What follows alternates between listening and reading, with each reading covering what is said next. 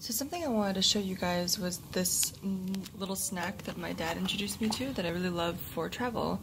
It's the Bumblebee brand uh, Snack on the Run tuna salad.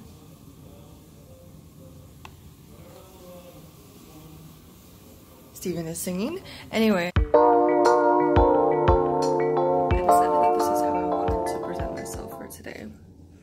I don't know, it's not usually my style to do this, but I figured you know, while here, wear my fun clothes and wear things that I, I guess I wouldn't put together like this on a regular basis.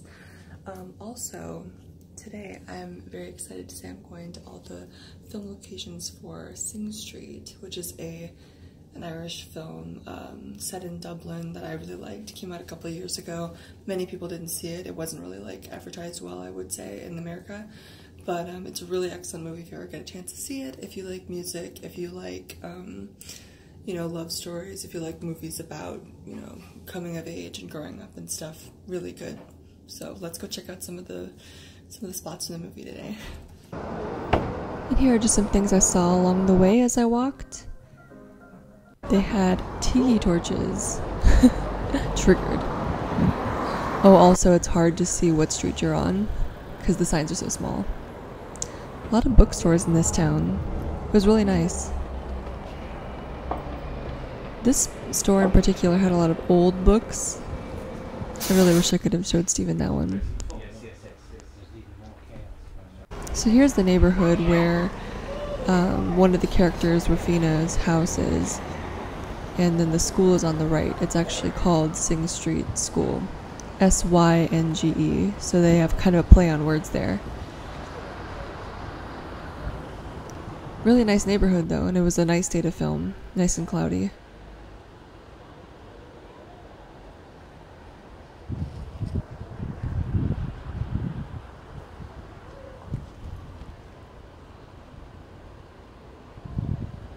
So here I found Raphina's house, I think.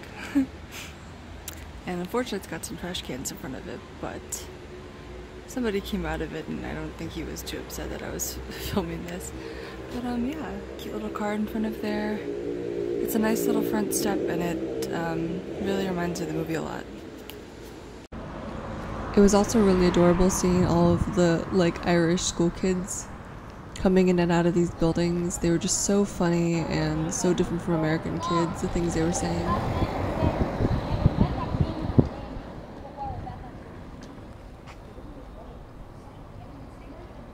So this is where I found the, uh, this little alleyway that led to the school. And I was hesitant to go down it because I didn't want to look like a creeper. But I am a tourist and this was a place where a movie was filmed. Here it is, I guess. I'm in a parking lot. I actually don't know if I should be here, but um, there's a sign over there. You can hear kids and stuff. They're very whimsical here. but I'm sure that if somebody had watched a bunch of Americana films and went to a random school in the US, they'd think they were whimsical too. Interesting how you can hear them. There you go, Synge Street CBS. and at first I thought that CBS was like maybe a studio where they like CBS films school scenes in Europe, but then I realized it stands for Christian Brothers School. That makes more sense. I almost feel like, as somebody who grew up in California going to very modern schools here, I missed out on that experience of having like everyone in one building going to school and just like hearing the voices overlap and having the whole experience of the lockers and the hallways. I just really wish that I had that sometimes. And this was kind of a, a nice nod to European films I've seen, East Coast films I've seen, where the schools are structured like so.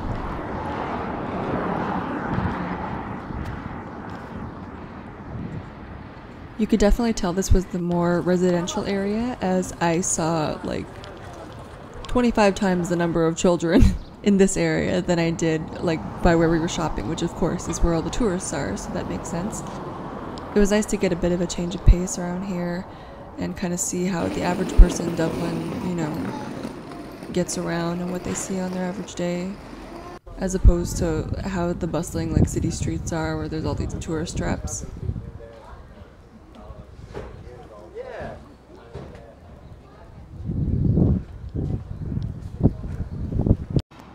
I then stopped by Fusco's Cafe, which is one of the film locations for this movie, also. The kids and the band come here uh, all together, and it was kind of nice because there was actually a schoolgirl in there when I visited. So it made me feel like that was legit, like the people who made that movie really know where the kids like to go. And it was really close by to the school, so that made a lot of sense. I ordered a burger and some chips from them, some really thick cut fries. My burger was really delicious, by the way. And one thing I thought was cool was those bottles are uh, salt and vinegar. So this girl, that girl at the counter, put them in her bag and just shook it all up, and that's how she seasoned her fries. I skipped out on the vinegar because I'm a bad Filipino. Look at that burger, it's so good. Also, I had limited internet access on my phone, so I had to turn it off and just enjoy the scenery around me while I was eating for once. and I got to watch these guys do some construction.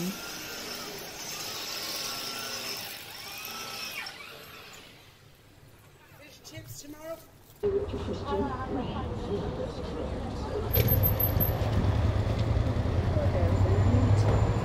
this is a cute little park where a lot of very nice scenes in that movie take place. Unfortunately, it's locked up this time.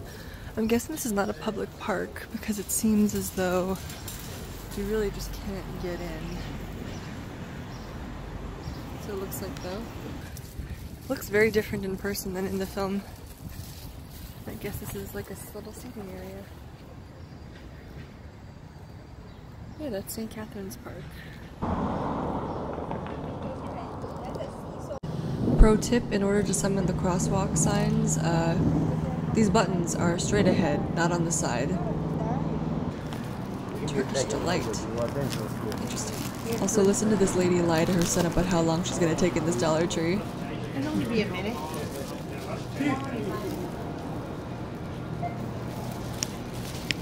Also, check out this bootleg coconut milk shampoo.